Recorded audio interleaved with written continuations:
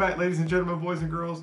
Electricity and magnetism can be really fun subjects to learn about in science, but they can be a little intimidating to teach. And a little intimidating to learn. So in this episode, we're going to show you two simple demonstrations to help illustrate the two concepts working together that you can do in your home that your kids will really enjoy. And all you're gonna need is some magnets, a battery, and copper wire. So stay tuned because in this video, we're going to show you two experiments for the price of one. You know these videos are free, right? You mean we don't get paid for this?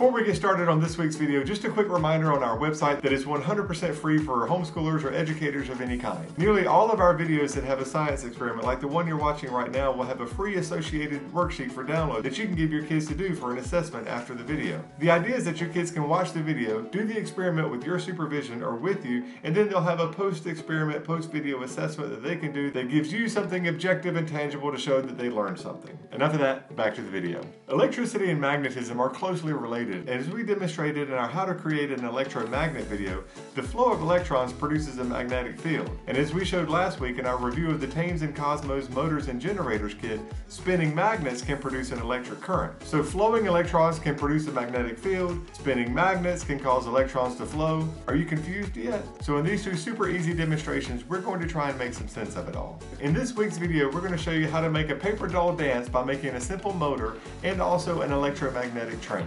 Let's start with the train because it's really fun and your kids are going to have a lot of fun playing with it. The hardest part about this experiment is finding the appropriate wire. I ended up getting a 14 gauge wire and a 20 gauge wire, and trust me, you're going to want to use the 20 gauge wire. It's much easier to work with. When I was trying to coil up the 14 gauge wire, you can see I basically had to use power tools to make it happen because it was just that difficult. To find the wire, I went to Lowe's, I went to Home Depot, and I even went to our local city electric supply. And for reasons I'm not really sure, none of them carried bare copper wire of this size. The only bare metal wire that I was actually able to find was this floral wire. The problem is it's just too flimsy and it's going to make things a little harder than they need to be. So as usual, I went to Amazon to save the day. And trust me, you're going to want to do the same. It's just easier. I'll leave a link in the description below if you're interested in doing an experiment like this at home with your kids. The next thing you're going to need is a strong magnet. And by strong, I'm talking about a bare metal neodymium magnet. Interestingly enough, you can find these at your Home Depot and they actually had a pretty good supply. Unfortunately, they didn't have the size we need. They had ones that were too big, ones that were too small, and ones that were the right size but had a hole in them.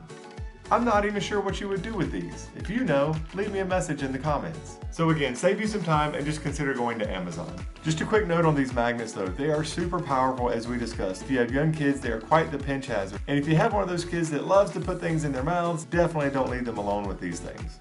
Trust me.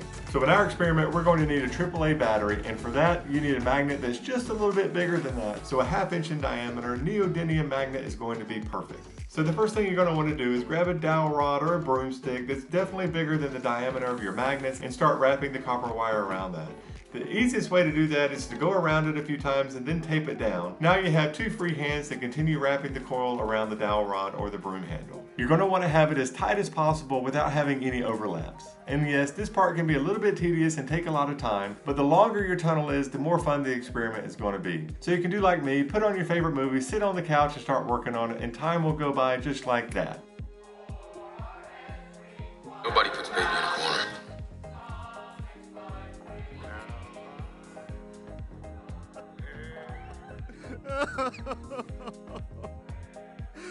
I wasn't crying, my foot fell asleep. Once you have it wrapped, you can slide your tunnel off the dowel rod, and now it's time to make your train.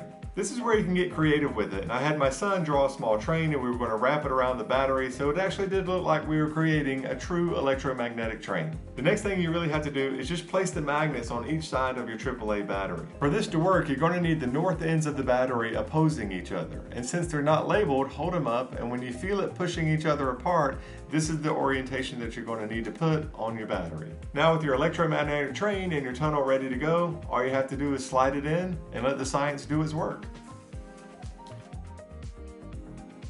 This is when spending the time to create the longer tube really pays dividends. It's as if the amount of fun increases exponentially with the length of the tube.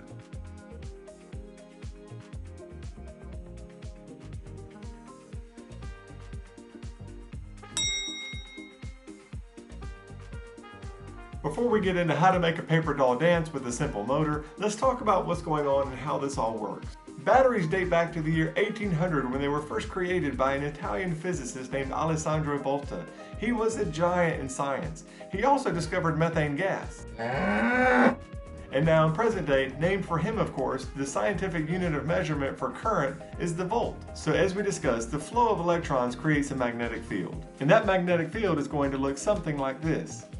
Here you can see the lines of the magnetic field being created when I place the iron filings on top of the magnet. And pro tip, magnet kits that come with something like this are really fun for kids to use and very interesting for them to be able to visualize the magnetic field line. If you're going to do this, be sure and put a piece of plastic on top of the magnet so you'll be able to redo it over and over because if you don't, the iron fillings will attach directly to the magnet and it's a pain to get off. So we know that when two similar poles of a magnet come together, they repel each other. And when two opposite poles of a magnet come together, they attract. So when our battery with the magnets on each end is pushed through the copper wire, those magnets come in contact with the copper wire, and that then allows the electrons to flow from one pole of the battery to the other pole. And that of course creates an electromagnet. So that of course means we now have an electromagnetic field inside of our copper tunnel that we made. And we know that the magnets that are on each side of the battery each have their own magnetic field. So in this setup, if you position your magnets correctly, you will have three different magnetic fields. One from the magnet on the negative end of the battery, one from the magnet on the positive end of the battery, and one from the electromagnet that's created when the magnets come in contact with the copper wire, allowing the electrons to pass through. The opposing and attracting forces of these three magnetic fields are what propels the battery through the copper wire tubing. This results, of course, in the world's easiest electromagnetic train.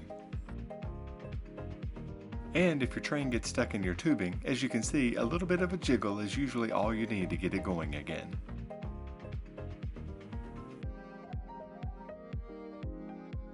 Another example of doing something like this is creating what is called a homopolar motor. If you don't want to spend the time creating a copper tunnel, you can do something like this. It's also pretty neat because you can have them spend a few moments creating hands and feet and faces and they can make their own little action figure that dances around. It's the same concept, only implemented a little bit differently. Instead of pushing the magnet through the wire, this time the magnetic forces are going to turn the wire around the battery.